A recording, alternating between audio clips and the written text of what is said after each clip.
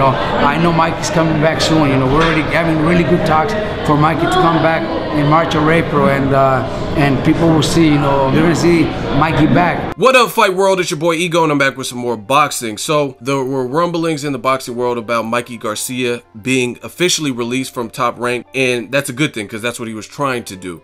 And it was confirmed by Michelle Rosado, Raging Babe. Shout out to her.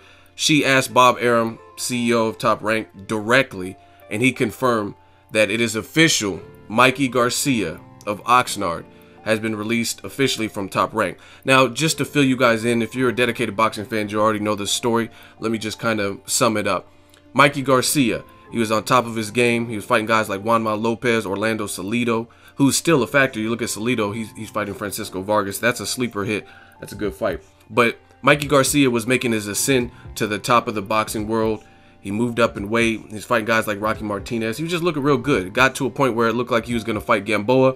Things got rocky. He had disputes with his promotional contract. I don't know exactly the details, money. And basically, ever since then, the Gamboa fight didn't happen. Gamboa went on to fight and lose to Terence Crawford.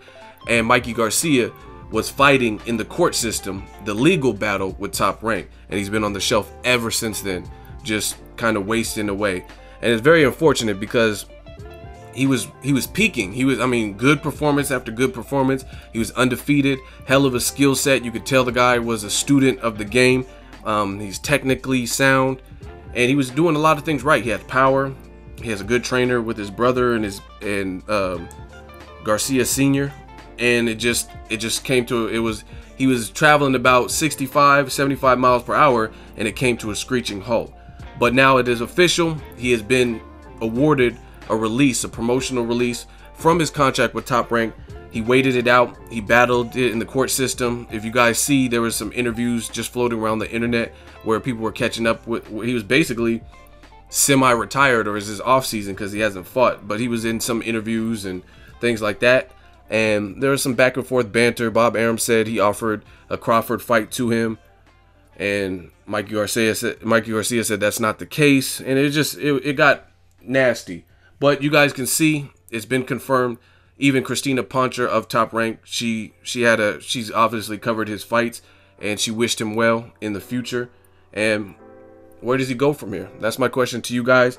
Welcome back, Mikey Garcia. It's been a long time coming, and again, the the biggest thing is when you're on the shelf that long, you don't know what that's gonna do to your skill set. Sometimes people pick up weight you get a little bit rusty. And I'm a fair boxing critic and commentator. So when you look at other fighters who had similar situations, like let's say Andre Ward, some of the fans proclaimed he needed to, after his inactivity where he wasn't fighting as much as he wanted to for similar reasons, injuries, things like that. They're saying he needed to move up in weight and fight Sergey Kovalev, who's the kingpin of the division, right? Monstrous power, great boxer, undefeated, things like that, champion and people were saying that. Me, I'm realistic. I think Mikey Garcia should kind of gradually get back in the swing of things, meaning don't immediately fight one of the top dogs because you haven't been fighting in quite some time. And I'm a realist. And again, not everyone's like a Floyd Mayweather or even an Andre Ward where they can disappear for like when Mayweather retired, semi retired after the Hatton TKO and came back after 21 months and beat Marquez. You could say it was because of weight or whatever. Bottom line, he schooled a, a fighter who nobody else is really beating Marquez for 12 rounds solid. Pacquiao didn't do it. Bradley didn't do it. Alvarado didn't do it. Nobody really just beats even Michael Katsidis and guys.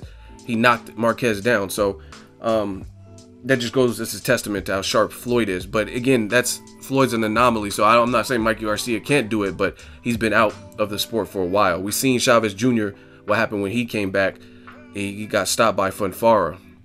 So I, I would advise Mikey Garcia to, and I'm not saying obviously I think Mikey Garcia is far more technically sound than Chavez Jr. and he has some amateur background and like I said a good camp and he's he, he's not as undisciplined as a Chavez Jr., so I'm not making that comparison. Bottom line is, I think he should gradually get back into the swing of things, not take on a top dog. But this opens a lot of possibilities. I don't know if Bob Arum's interested in working with him. I don't even know what weight he's planning on campaigning at, what weight he can comfortably make without killing himself, because he did uh, lose his title on the scale at one point when he was um, actively fighting. and I don't know what weight he's going to come back, but just some names. Like I said, I don't know if Arum wants to work with him at all, or he just wants to wipe his hands clean of him. But there's guys on the top rank side like Bradley, Pacquiao. More importantly, the fight that a lot of people have clamored for would be a fight with like a Terence Crawford or Viktor Postol. I think they're closer to the weight that he would come back at, maybe like a 140. I don't know for a fact. Then you look at the across the pond, there's some other options like Francisco Vargas Salido winner, right? If he if he did a deal with Golden Boy and was able to work with them, maybe the winner of that. He already beat Salido, but the way it ended, he got his nose broken. It kind of went to the scorecards, I believe. So it wasn't really controversy. I thought he was pretty much dominating Salido. Salido started coming on though. Salido started coming on strong, and then he got his nose broken, and then it ended. So not really a controversy there, but you know what I mean possibly because Salido has since beat guys like Lomachenko. If he beats um, Francisco Vargas, that'll be a solid win. If Francisco Vargas beats him, that's a great Mexican Mexican American clash. You also got Al Haymon guys, Danny Garcia. There's just a ton of fights. Adrien Broner. Can you imagine Mikey Garcia versus Adrien Broner? Danny Garcia.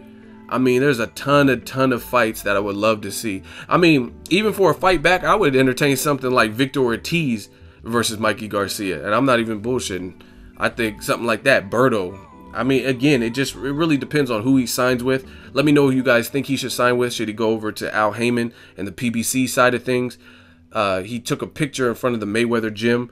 I don't know if he wants to be, but Mayweather Promotions is kind of under the Haymon umbrella. That's what I consider it, because Mayweather is obviously a signed fighter to Al Haymon, so he'll work with Al Haymon. So that's kind of under the same family, if you will. Should he sign to Golden Boy? Should he sign to, um, I don't know. Who do, who do you guys think he should sign to? What should he do next in his career? Drop that in the comment section. But I'm happy for him. There's a ton of fights. Jesse Vargas is again. I don't know if Top Rank wants to work with him because of what they the legal. I don't know if there's any kind of bad blood on Bob Arum's side because he's the shot caller over there. But I mean, you got guys like Jesse Vargas who's um, had some good wins in recent memory. So the sky's the limit. I just want him, I want to welcome him back, first of all. And I just want him to come back the right way. And that's by taking probably a tune up style fight. Don't just jump in there with champion or killer. But we'll see what happens. Let me know what you guys think. Welcome back, Mikey Garcia. Who should he fight? Who should he sign with? Make sure you share the video, like the video as always. Hate, comment, and subscribe. Till next video is Ego signing off. So if you enjoyed this video and want more content like this on the channel, you can show your appreciation by going to the PayPal donate button or the YouTube support button. And you can donate any amount that you feel is equivalent to the value of this video. Much more to come. Thank you guys for your support. Boxing Ego, the future of boxing.